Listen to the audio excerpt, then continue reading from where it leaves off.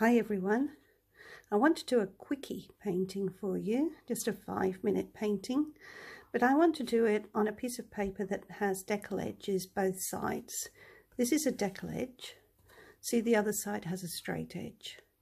This is an Arches uh, 300 gram cold press paper, but you could do this with most watercolour papers. What I did first was measure out where I wanted the deckle to be and I used one of these tools to score down very carefully on both sides of the paper. And then I folded it over and again scored it folded it the other way and scored it. So I ended up with something looking like this then what you do is you add some clean water and you just paint down paint down that edge with the clean water on both sides.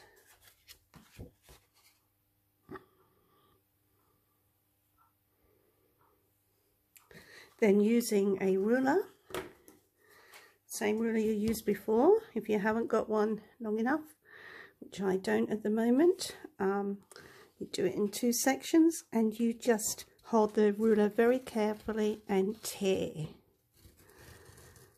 So I'm just going to move that down a little bit and tear. So I have a nice rough edge on both sides. It's not as rough as the one that the paper comes with, but when it dries, it'll look okay. You can always, if you wanted it a little bit more roughened, is just use your nails and just pick out some of those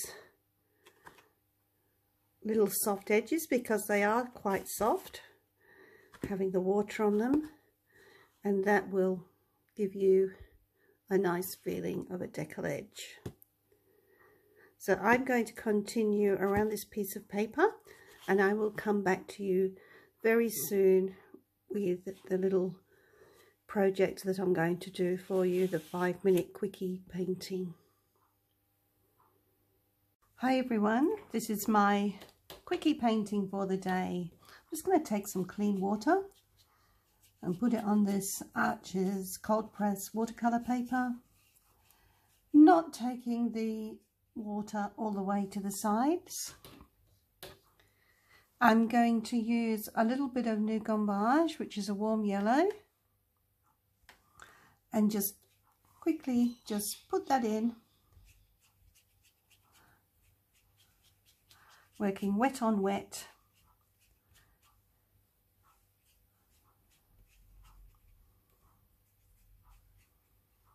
just leaving that nice border around the edge of the paper. Now I'm going to pick up some Opera Rose, which is a very oh beautiful pink. And I'm just going to work on wet on wet on this. And I'm going to do some flowers today. So thinking about heart shapes for each petal. Now it is going to bleed out and that's fine.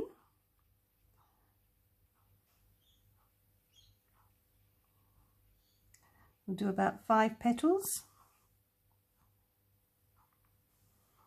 We'll do another one just in here.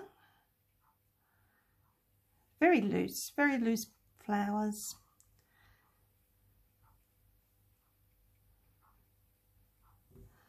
Okay, and maybe just a little bud happening around here, just a little triangular shape. A little hair in there, that'll come off when it dries. Now I'm going to pick up just a little bit of lemon yellow, just on the tip of my brush.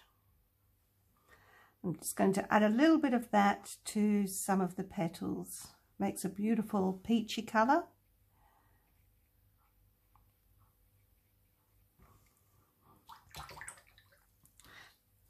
Now a little bit of ultramarine blue.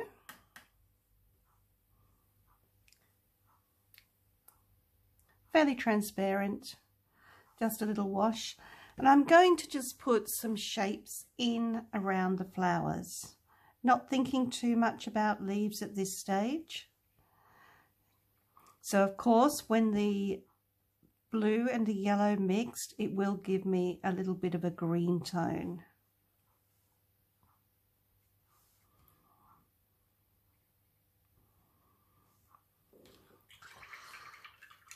So that has to dry, so I'll just switch off for a second and come back to you and finish it off. So here we are with a nice dry surface. And now we're going to just finish this off quite quickly. Back on with the Opera Rose.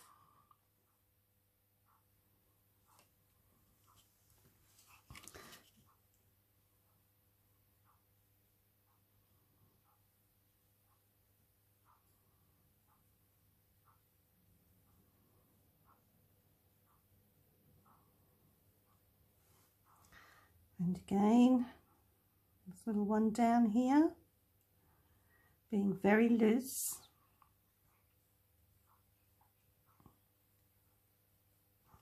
And our bud.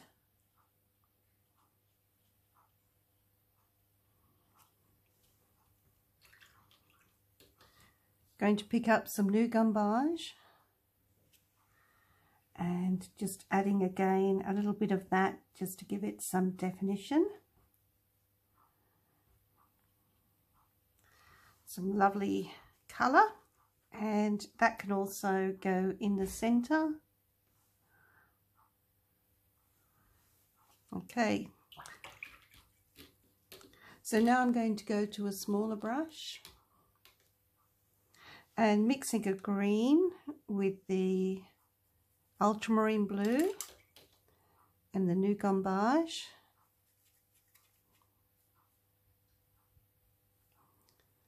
A nice transparent mix. And we're going to pop some leaves in now.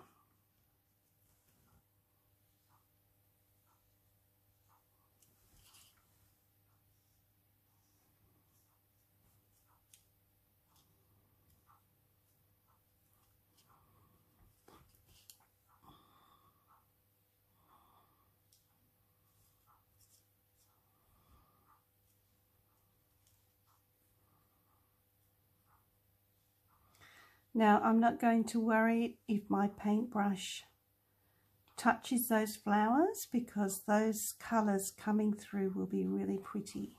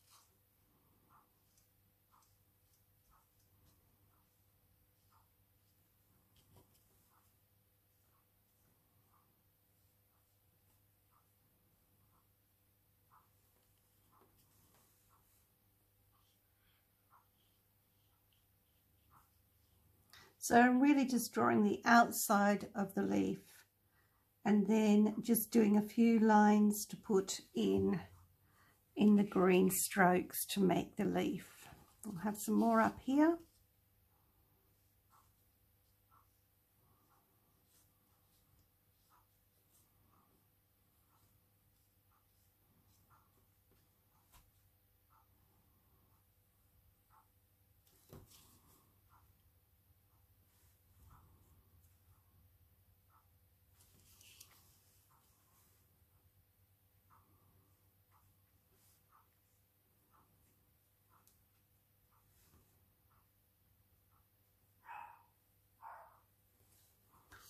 Okay, I think this is looking quite pretty.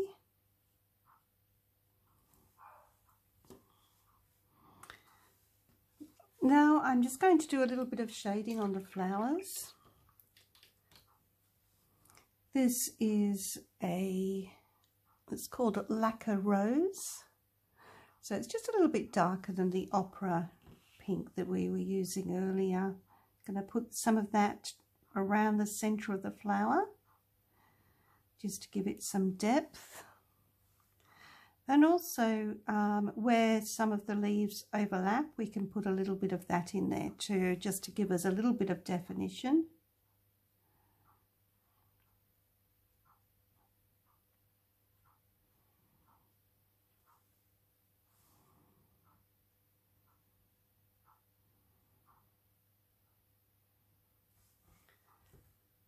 Now I'd like to add some of that to the um, bud as well.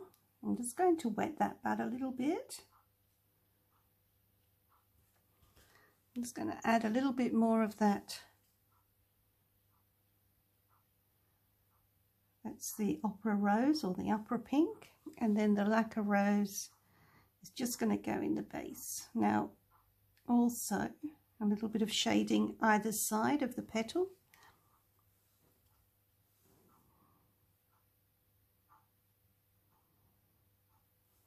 Now, while I've got that green mixed too with my script liner, script liner is a really long bristled brush, perfect for doing long lines. I'm going to give a little calyx to this bud. And just pull down that stem.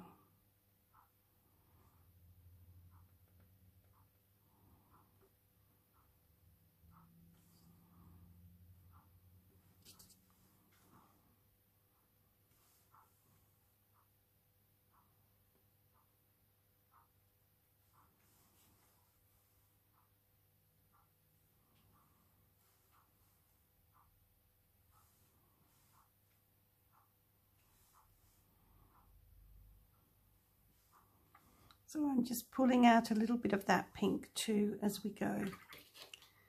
Now, here's a little bit of gold watercolour. If you haven't got gold watercolour, you could use a gold pen or gold acrylic. You could even use a white paint.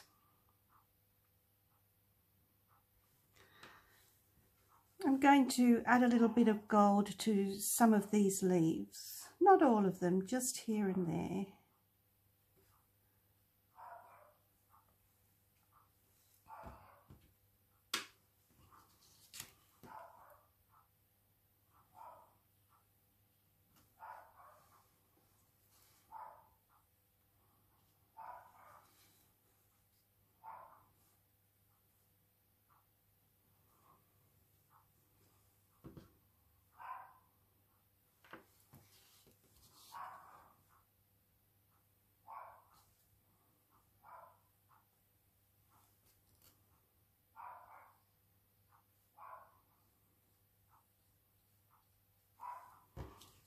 That's looking so pretty.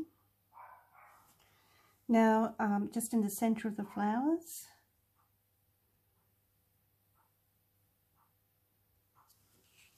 and again on the other flower. So this is all wet on wet.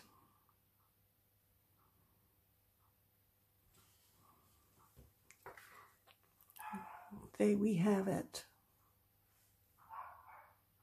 So now I'm going to just use a little bit of white gouache, just straight out of the tube. You could use white acrylic or you could even use a, a white pen, like a gel pen for this.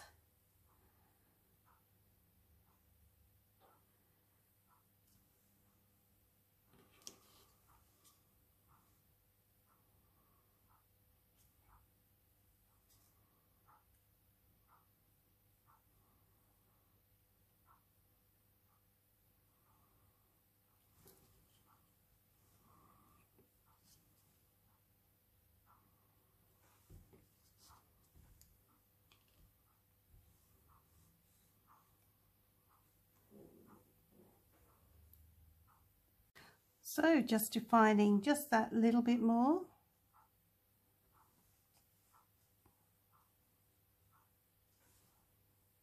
Still wet on wet, I haven't dried this off at all.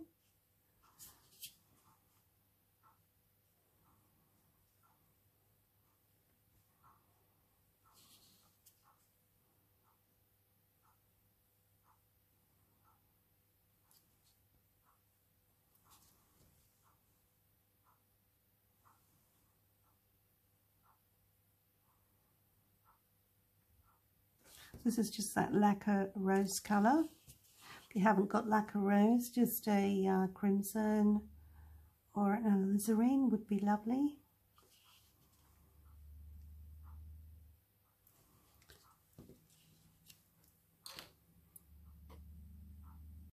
So I just quickly dried this off for you and you could just leave it like that and pop it in a frame or give it to a friend. Another thing that you could do is just add a little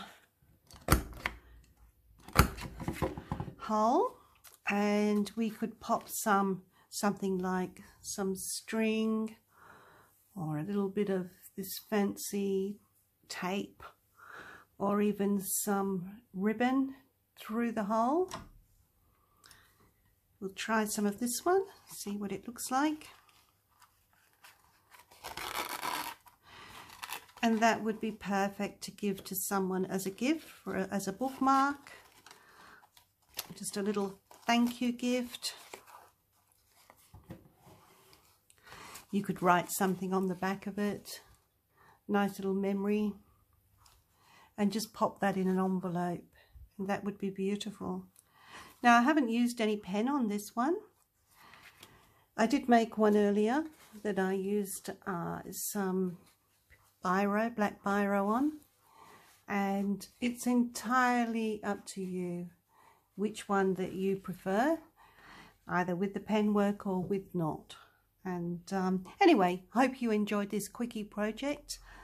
And please let me know what you think. Don't forget to like and subscribe to see more quickie projects. Thanks for watching